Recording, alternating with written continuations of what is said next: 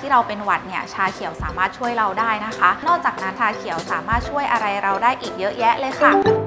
ไม่ว่าจะช่วยในเรื่องของการเผาผลาญไขมัน ลดสารก่อมะเร็ง ป้องกันอัลไซเมอร์ บำรุงสมองส่วนความจำ และลดความเสี่ยงเส้นเลือดสมองอุดตันค่ะ การที่จะดื่มให้ได้ผลลัพธ์ที่ดีนะคะ ก็ต้องเป็นแบบใบชาหรือผงมัทฉะนะคะ แล้วก็ชงร้อนเท่านั้นนะคะ ในชาเขียวจะมีสารสกัดที่ชื่อว่า catechin ค่ะ มีคุณสมบัติในการช่วยเสริมสร้างภูมิคุ้มกันของเรา แนะนำให้ดื่มวันละ 2 แก้วนะคะ ไม่ควรมีน้ำตาลผสมแต่ดีมากๆเลยค่ะ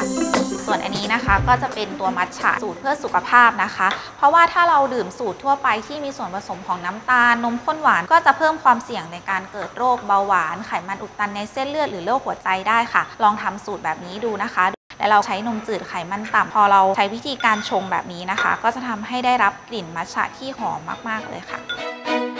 เสร็จแล้วค่ะ ตัวเมนูมัทฉะนมสดที่เป็นสูตรเพื่อสุขภาพ เพราะว่าเราใช้เป็นนมจืดไขมันต่ำแล้วก็ไม่มีน้ำตาลด้วยค่ะ หอมมัทฉะแล้วก็อร่อยชื่นใจที่สุดเลยค่ะ ใครที่มีคำถามหรือข้อสงสัยเกี่ยวกับการรับประทานอาหารให้เหมาะสมกับตนเอง หรือเหมาะสมกับโรคต่างๆ ก็สามารถคอมเมนต์สอบถามไว้ได้ใต้คลิปนี้ได้เลยนะคะ อย่าลืมติดตามรายการด้วยนะคะ ทุกคน สวัสดีค่ะ